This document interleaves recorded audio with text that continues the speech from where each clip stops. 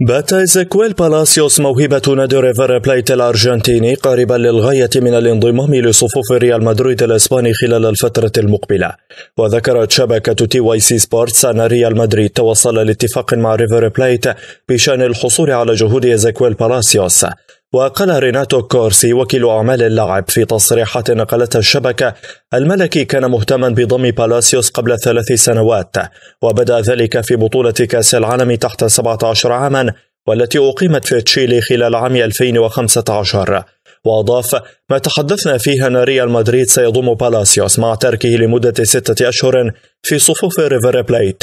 وتابع كورسي بالاسيوس يحتاج حاليا إلى المشاركة بشكل منتظم حتى يصل إلى ريال مدريد في قمة تألقه.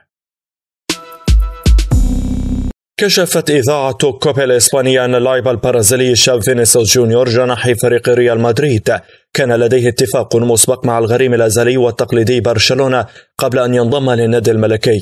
وكان فينيسيوس قد جاء إلى الميرينجي مطلع هذا الصيف بعدما تعاقد لوس بلانكوس معه في مايو عام 2017 مقابل 45 مليون يورو من فلامينغو البرازيلي. لكنه لم يكمل إجراءات الصفقة حينها لأنه كان دون السن القانوني. وبحسب الإذاعة الإسبانية فإن فينيسيوس لديه اتفاق مسبق مع برشلونة ولكن عائلة جونيور ووكيله كان لهم دورا في ذهابه للنادي الملكي. وأوضحت الإذاعة أن جونيور لم يكلف النادي الملكي 45 مليون يورو فقط بل هناك 8 ملايين يورو دفعهم النادي لعائلته ووكيله من أجل إقناعه بالانتقال لريال مدريد. يذكر أن جونيور قد شارك في عشر مباريات هذا الموسم بمختلف المسابقات مع النادي الملكي وسجل خمسة أهداف وقدم أربع تمريرات حاسمة. يلوح في الأفق صراع مرتقب بين قطبي إسبانيا برشلونة وريال مدريد للحصول على خدمات ليو سانتوس خلال الفترة المقبلة. وقالت صحيفة موندو ديبورتيفو أن نادي برشلونة يراقب بالفعل لاعبي نادي كورانثيانز البرازيلي من أجل الحصول على خدماته.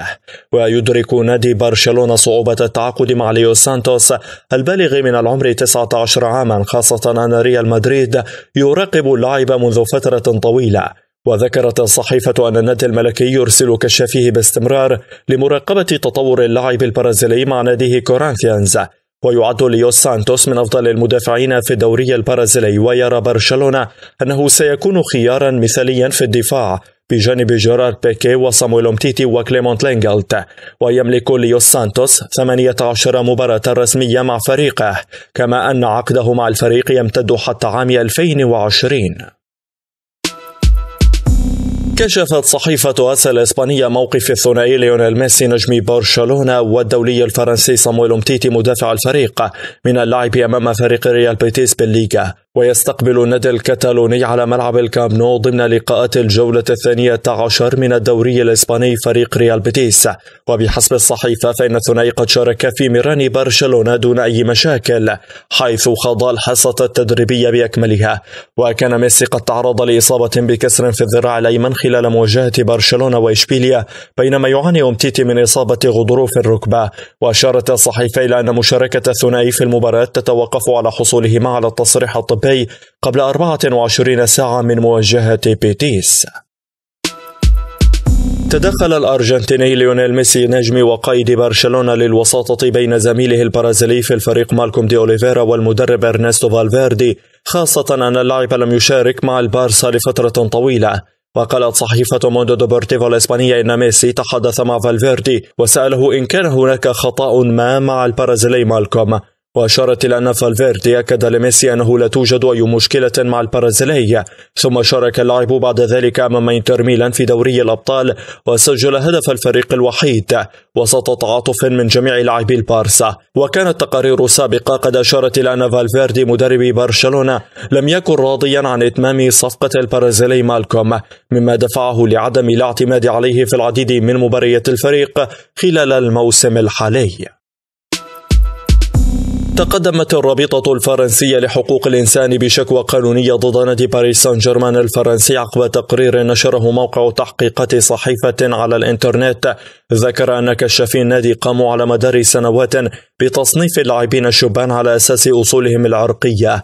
وذكر موقع ميديا بارت والذي يستند إلى مزاعم واردة في وثائق تعرف باسم تسريبات كرة القدم.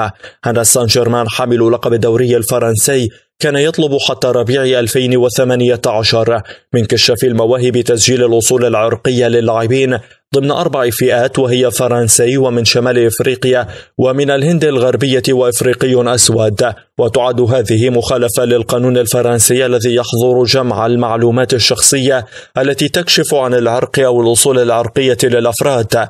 وذكرت الرابطة الفرنسية لحقوق الإنسان في بيان أن مثل هذا النظام يتسم بالعنصرية والتمييز الشديدين وأضافت هذه الممارسات هي غير قانونية وإذا ما ثبتت هذه الاتهامات فإن المسؤولين عنها قد يواجهون عقوبة السجن لخمس سنوات إضافة لغرامة تبلغ 300 ألف يورو. كشفت تقارير صحفية أن نادي إي سي ميلان الإيطالي يدرس إعادة اللاعب البرازيلي ألكسندر باتو مهاجم فريق تيانجين كوانجيان الصيني لصفوفه مجددا. وسبق لباتو اللعب مع النادي اللومباردي في الفترة ما بين عامي 2007 و 2013 وبحسب شبكة فوتبول إيطاليا نقلا عن وسائل إعلام إيطالية فإن باتو يعد خيارا من الخيارات الأساسية للروسونيري في الانتقالات الشتوية المقبلة. وأشارت الشبكة إلى أن رفض السويدي زلاتان إبراهيموفيتش مهاجم فريق لوس أنجلوس جالاكسي الأمريكي العودة إلى ميلان مجددا دفعت إدارة النادي للتحرك نحو إعادة باتو. وأوضحت الشبكة إلى أن باتو يملك شرطا جزائيا مع ناديه يبلغ 25 مليون يورو وقد يعيق هذا الرقم عودته إلى السانسيرو مرة أخرى. واعترف باتو من قبل أنه يتمنى العودة إلى أوروبا مجددا حيث قال أنه يريد الانتقال لناد لديه مشروع جديد. كشفت صحيفة ماركا الإسبانية أن محكمة الاستئناف في باريس رفضت إلغاء الحكم الصادر ضد كريم بنزيما مهاجم فريق ريال مدريد بشأن فضيحة الابتزاز المتورط فيها مع زميله في المنتخب ماتيو فالبوينا واتهم بنزيما بابتزاز زميله السابق في المنتخب الفرنسي بشريط جنسي في عام 2015 ومنذ تلك الواقعة تم استبعاده من منتخب الديوك الفرنسي. وأشارت الصحيفة الإسبانية إلى أن مهاجم ريال مدريد سيقوم بنقل قضيته إلى المحكمة العليا بفرنسا من أجل تبرئته.